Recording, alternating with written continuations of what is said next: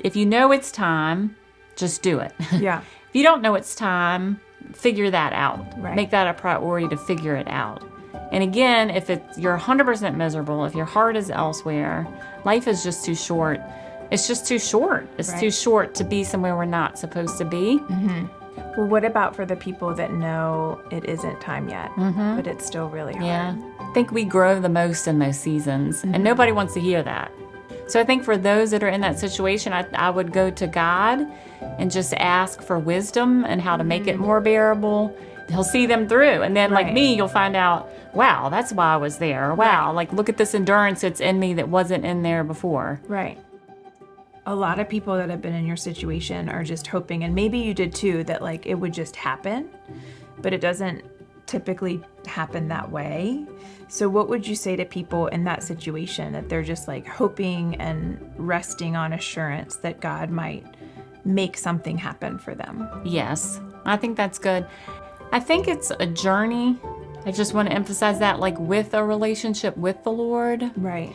So I had a lot of years of struggling. Like, and quite honestly, like there were years when I had a hard time watching movies because it would be such an agitation to me. Like, when is this going to happen? How is this going to happen? But I've always tried to busy myself with the Lord and the things that I think He has for me in the season. Right. Just trusting that He would show or speak to me when it was time. And then He's gonna He's gonna show us because if He put the dream in our hearts, it will come to pass.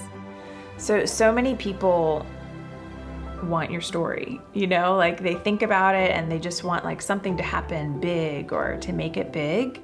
And I just wonder is it something that you had always hoped for, or were you just expecting it because of that prophecy that happened? Yes, excellent question. No, I hadn't always hoped for it, and no, I hadn't always expected it. I, I think of it like this too. Like, I love the story of Abraham and Isaac. So, God asked him to sacrifice it and put him on the mm. altar, his promise. So, I think when it's a dream that you go through seasons of that too. Right. So I know that there's been times where I'm like, you're just frustrated with it, or you just give it to God. God, I can't make this happen. Right. I give it to you. So there are seasons of that frustration, that seasons of I'm just not going to think about it. I'm not going to focus on it at all. It belongs to you. Right.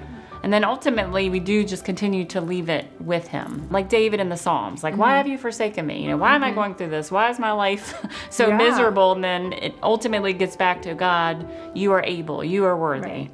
But that's part of the human struggle. So true. We all feel that way, but then it's like, when are you actually going to surrender this to God? Mhm. That's that's where the, the, the beauty is in Mm-hmm. the surrender. Yeah. And He'll bring it to pass. Yeah. Would you say now that you're a filmmaker, you've arrived? I was waiting for that question because I'm going to give you all a very serious quote. This is Ruth Bell Graham. This is what's on her tombstone.